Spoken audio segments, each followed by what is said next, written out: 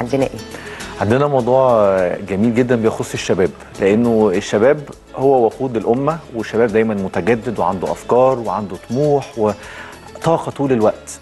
فلأنه الشباب آه، عن وفي كتير بقى من الشباب بيبقى نفسه يكون صاحب شركة وإنه من خلال الشركة دي يحقق ذاته ويكون عنده مشروعه الخاص يقدر يأمن بيه مستقبله.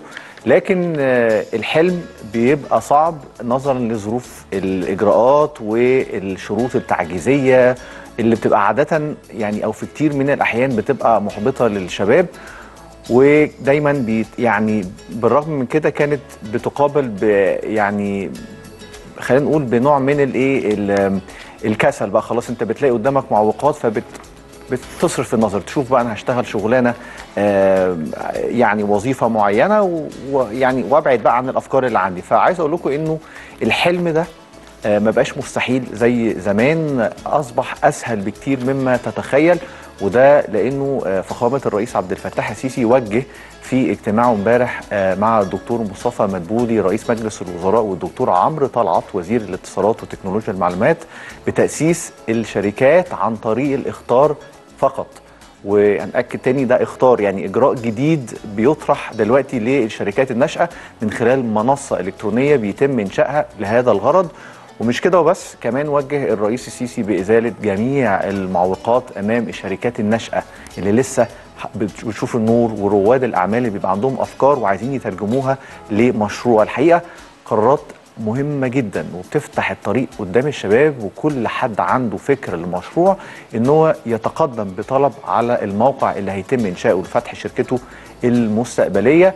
التوجيهات دي هتسهل كتير جدا على المستثمرين ورواد الأعمال من أصحاب الأفكار الناجحة إن هم يبدأوا في تكوين شركاتهم عشان يكونوا آه، سبب في لفت أنظار المستثمرين الأجانب لبلدنا واللي بدورها بتساعد على الارتقاء بالاقتصاد الوطني وحقيقة شفنا في الفترة اللي فاتت نماذج لمشاريع شباب أصبحت بتحصل على آه، تمويل أجنبي وتمويل آه، استثمار استثمارات محلية نظرا للأفكار الجديدة المتجددة في قطاع اللوجستيات قطاعات كتيرة مختلفة صحيح.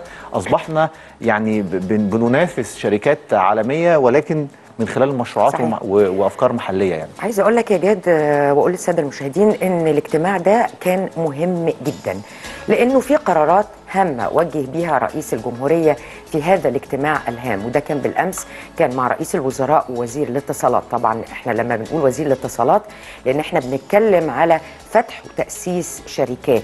آه كمان أيضا آه أمر السيد الرئيس بالسماح بفتح شركات افتراضية أو اللي بيطلق عليها ال e-company ال e-company دي ما فيهاش أي تقييد بضرورة إن يكون في مقر فعلي للشركة دي.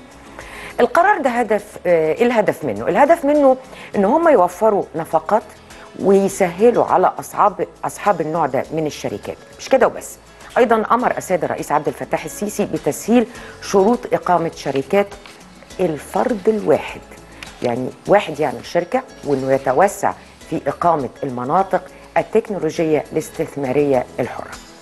أيضا الرئيس ادى أمر بتوجيه آه، بيهم كتير من اللي بيفكروا إن هم ينشئوا شركات خاصة. هو إن الحكومة ضروري جدا إنها تقوم بعملية توسيع من الإعفاءات الضريبية للشركات الناشئة.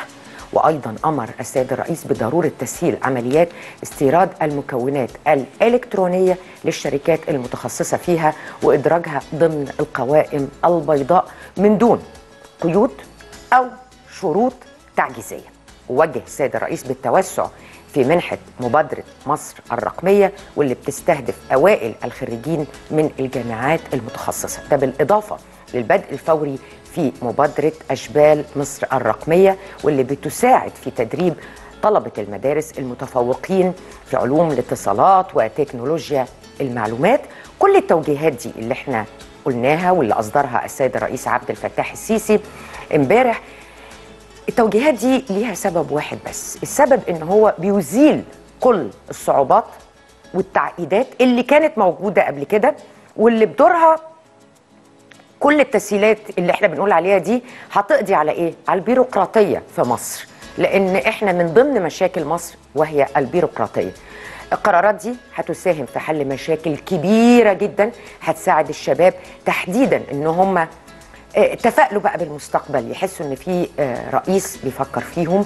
كل همه إنه يكونوا سبب في تقدم ونهوض مصر إن شاء الله بإيديهم إن شاء الله. إن شاء الله. يعني أكتر من بند ذكرتيه موضوع إن مش هيبقى مطالب إن أنت يبقى عندك مقر للشركة.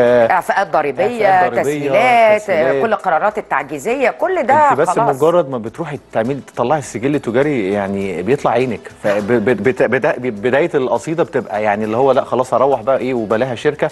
فأعتقد الحاجات دي كلها صحيح. هتسهل كتير جدا شاء الله. وتشجع شباب إن هم يطلعوا الأفكار الحلوة اللي عندهم ويطبقوها. لمشاريع إن شاء, شاء الله الله. بإذن الله